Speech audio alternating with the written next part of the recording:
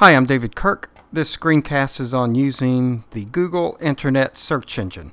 Right now, Google is the largest search engine on the internet. Um, before that, Yahoo was the most popular. Um, now, one thing you might wonder is how does Google make their money?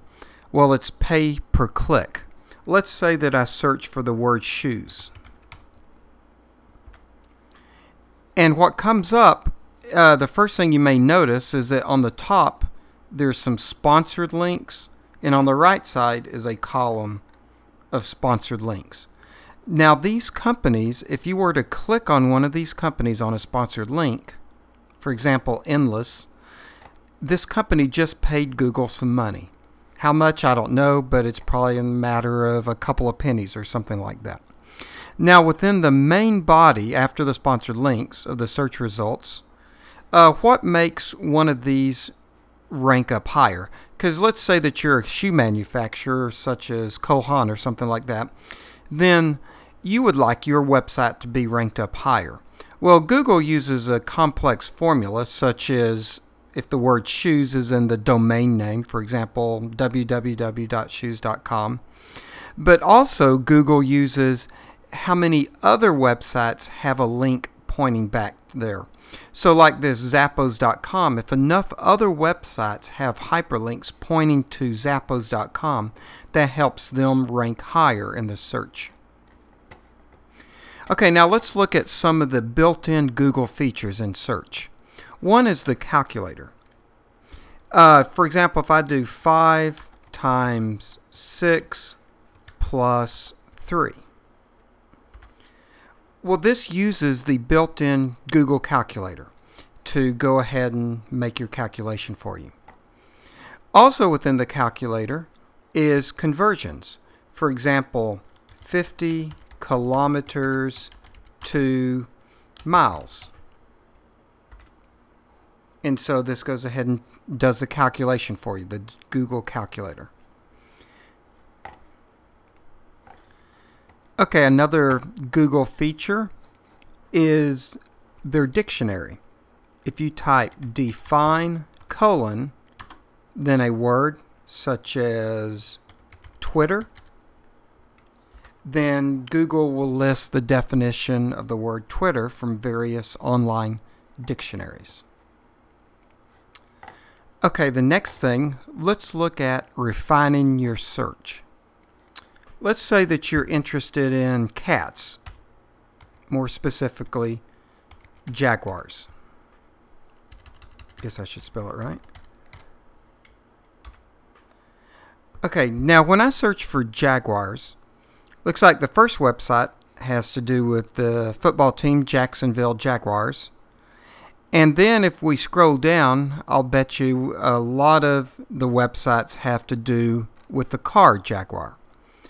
Now, one thing, one way that we can refine our search is after the keyword that you type in, do a space and then a minus sign, then another football, another keyword such as football.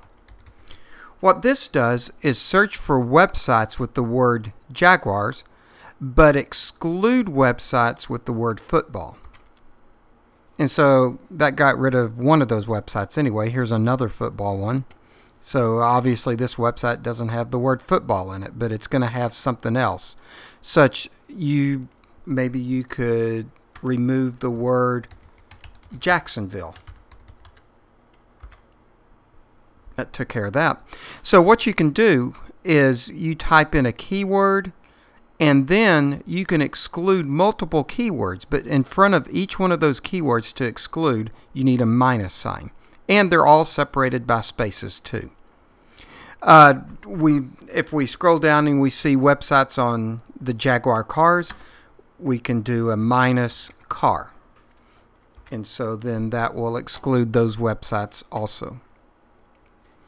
Okay, next thing is let's look at using quotations in our search. Let's say that you're going to Google yourself. And by the way, I recommend you Google yourself to find out if there's any information out on the internet that um, just for your information. I'm going to type in David G. Kirk which is my middle, nation, uh, middle initial G. And then after I do a search, well, I can see already the first website that comes up says Karen G, then Kirk, comma David S.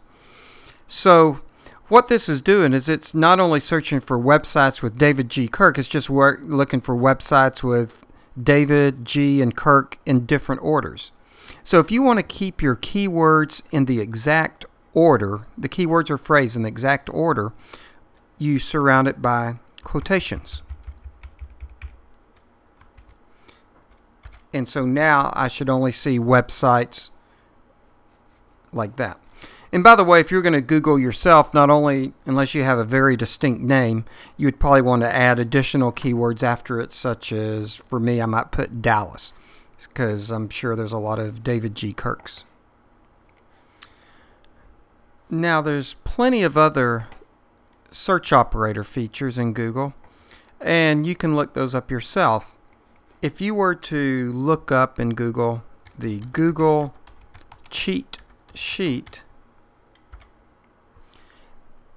the first uh, item under the search is a one sheet with all these search operators that we talked about, a uh, lot of other ones that you can look at also.